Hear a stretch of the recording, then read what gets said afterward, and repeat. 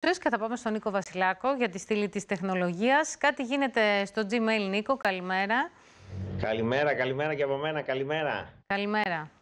Όντως, ε, κινδυνεύουν με διαγραφή όλα τα email που τα τελευταία δύο χρόνια δεν έχουν μπει στο λογαριασμό τους.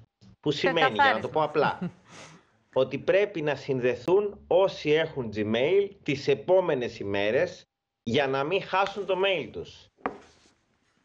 Αλλιώς το mail τους θα χαθεί για πάντα στο πλαίσιο υψηλής ασφάλειας και υψηλής ποιότητας υπηρεσιών που προσφέρει η Google σε κάθε χρήστη που έχει Gmail.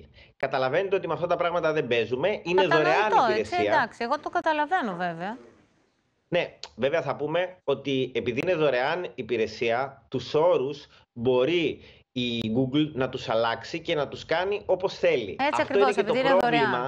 Ναι. ναι, το πρόβλημα των δωρεάν υπηρεσιών. Δηλαδή σκεφτείτε ότι το ίδιο ισχύει και με το Facebook, το ίδιο ισχύει και με το Instagram. Είναι δωρεάν υπηρεσίες. Όποτε θέλουν να αλλάζουν τους όρους, τροποποιούν τις συμβάσεις, πατάμε εμείς αποδοχή, που πολλές φορές δεν διαβάζουμε τα ψηλά γράμματα και αυτό έτσι είναι πολύ μεγάλο πρόβλημα, γιατί Ναι. αλλάζουν τα δεδομένα και εμείς δεν προσαρμοζόμαστε στα νέα δεδομένα. Καταλαβαίνεις λοιπόν ότι τώρα όσοι και όσες έχουν Gmail πρέπει να μπείτε στο λογαριασμό σας, να δείτε αν υπάρχει μήνυμα διαγραφής, να το προλάβετε, να σώσετε το λογαριασμό που για πολλούς είναι εταιρικό ή επιχειρηματικό εργαλείο. Σκεφτείτε ότι έχουμε πάρα πολλές εταιρείες που κινούνται ουσιαστικά με Gmail ως Εντάξει, θα αναγκαστούν επίσημο τώρα mail. να μπουν όσοι μας ακούνε να κάνουν ανάκτηση κωδικών και όλα αυτά για να το επαναλειτουργήσουν. Αλλιώς θα διαγραφούν. Είπαμε από τη στιγμή που είναι δωρεάν υπηρεσία.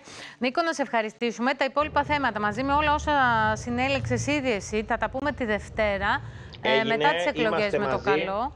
Ωραία, 11 η ώρα τη Δευτέρα μαζί σε μια νέα Ελλάδα. Ίσως, ερωτηματικό. Θα τα πούμε τη Δευτέρα λοιπόν. Να είσαι καλά, σε ευχαριστώ. Έγινε.